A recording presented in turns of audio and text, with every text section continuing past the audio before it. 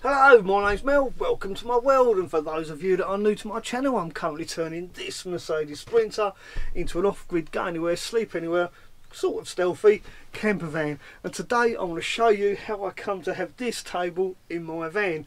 Now this is no ordinary table, this table actually comes from my very very first old VW air-cooled Type 2 Westfalia camper van that was built in 1973 which means this table is 47 years old. So uh, sit back relax and enjoy the show. So this is my old table. I've had this table for I don't know since the beginning of time. This table came out of my very very first air cooled VW um, camper. It was a Westfalia and I had that thing for well over a decade. And when I eventually sold it when I did part with it. I forgot to give the new owner the table. So I've had this table kicking around ever since. And uh, yeah it's been through the mill a bit. Some bits and pieces have been stolen off it or taken off it. Screws have been taken out of it to repair other tables because I used to buy and sell old Volkswagen camper vans so, uh, but this one, this table, for some reason, has managed to stick around. It's never gone anywhere. Uh, probably because I took some bits off of it. So I've had a rummage around in my old box, back in my lockup, and I've found enough parts to try and put this back together and rebuild it. And I'm going to use it in my van. Now I know it looks like a pretty manky old table to most people, but for me, I've got an attachment with it, if that makes sense. It's like it's a part of me. It's been kicking around all these years. Um, a friend of mine even had a fish tank on this for about five years, I think. she had a fish tank sitting on it on top of an old uh, sewing machine base as an ornamental thing in her flat. And uh, yeah, when she got rid of the fish tank, I got my table back.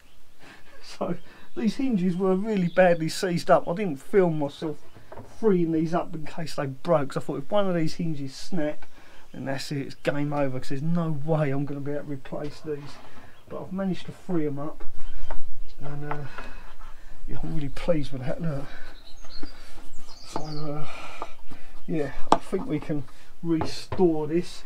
Now these tables are really clever how they work. That's another reason I want to keep this table because of these hinges.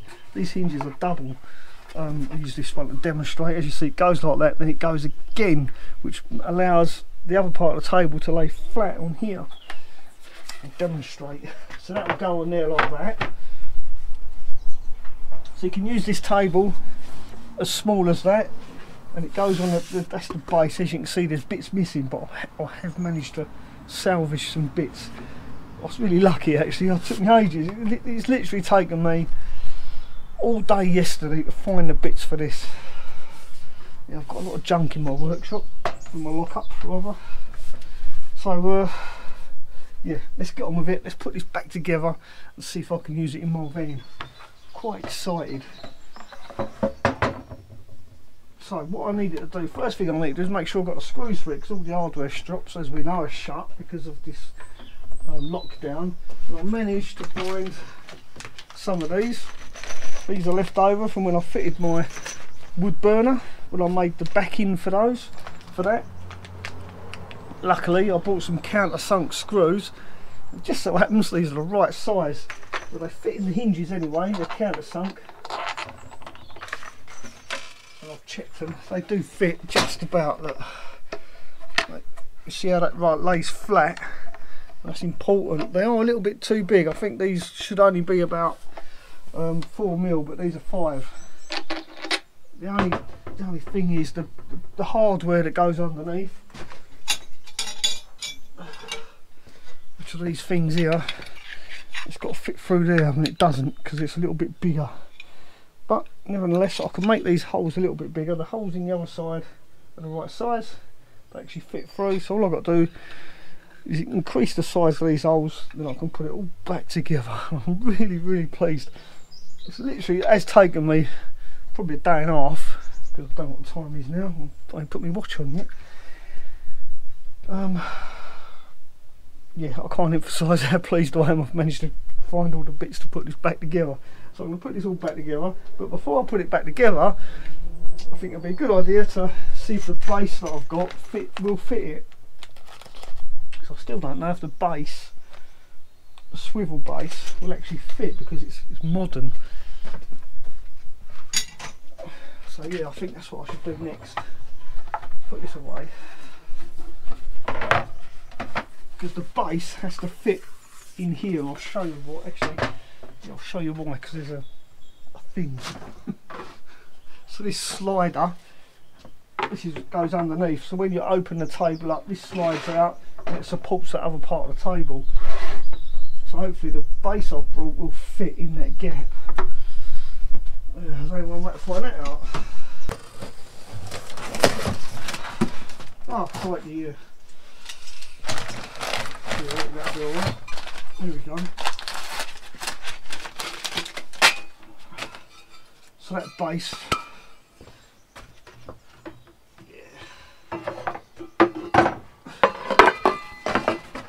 that base is definitely going to fit in there like that. Look at that. so now I've got all the bits I need to restore this table. Right. So without further ado, right, so let's put this back together. Oh, I'm so pleased I found these bits, I really am. I know, I know it looks like a crappy old table, but like I say, it means a lot to me in the day. Now these are a little bit long, but once I've assembled it, I'll just cut them off.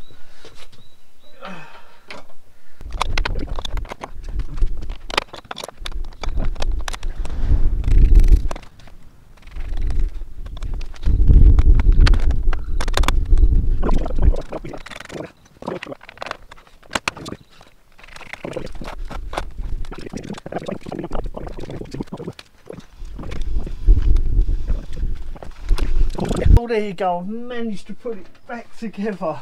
I do need to cut these bolts down, but I can do that later. I'll get an angle grinder and kind of slice them off. So this is how the table works. When it's up that way, it's a small table, really useful. But then if you want a bigger table, you simply slide this part out.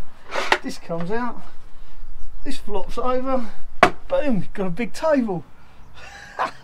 Brilliant. I'm so pleased I managed to restore this all I've got to do now. Is fit it in the van. Oh, I need to put the base on it first too. So for my table leg I'm going to be using a swing out leg like this and it can swing out, it attaches to the side of my bench and it's movable. And then this base bit here that goes on the bottom of the table that simply pops into there like that. So the table can then swivel as well. So it gives you quite a bit of um, adjustment it's good enough for this van. I mean, I know there's flasher ones on the market, a lot better than this, but this is certainly one of the most cheapest, and I'll put a link in the description of this video where you can buy one of these. Now I need to assemble this. This has got a clamp that goes on here, and it's, it's like a, a cam lock clamp, and I'll show you what it is. I'll just try and... So this all comes in the kit. Don't know if I can do this on camera, I'll try so you get your main and it works on a cam. I think you can see that. So what we need to do the first thing we need is slide this washer. You can see it's got like a black rubber washer that goes on there that way like that. Then you put that into there like that. Then your locking nut. This nut's got like a locking bit of rubber on the back of it. That's pretty much it really I'll do this up so you can see how it works. So it goes like that. I'll bring it in close. So as you pull this down, it just closes that in a bit and it pinches on the leg. Simple and effective. Right. So like I say, all I've got to do is connect that to the table. and in the kit they can supply you with the screws which I've got in my pocket. So I'm going to put that like that or like that. Then we go like that. Put that in there.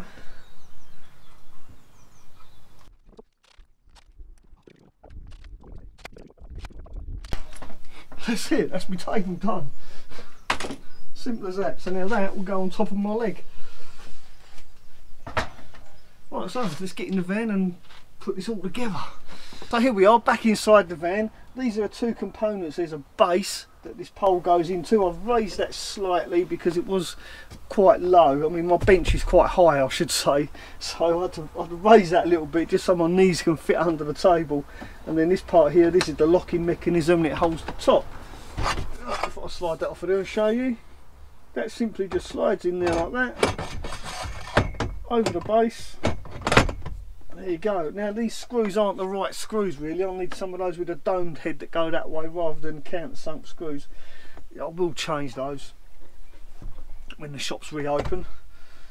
Right, so uh, this is lockable. You could do this up to stop it moving around in whatever position you like. So let's put my table on here and see what it looks like.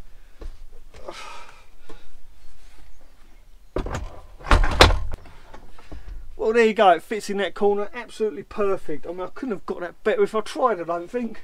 That's really cool. I like that. Now, I know this table's a bit old. It's a bit old-fashioned. It doesn't really go with the rest of the van. But for me, it's a bit of personal memorabilia. And uh, it is like, it's probably 40 odd years old, this table. And I've had it about 15 of those. So, uh, yeah, it's a bit grotty. Um, but I love it all the same. Now, let's see how it fits. I guess the proof is in the pudding, right? Does it does it work? So I'll slide this out, pull that out, open it up. There you go. Have a look at that. Absolutely perfect. And that's a, yeah, it's the right height as well. I think that's all right. That I like that. Let's do that up. I think that'll be all right. Click that shut. That's good enough, that's sturdy enough I think. So all that's left for me to do now is have a cup of tea and a biscuit.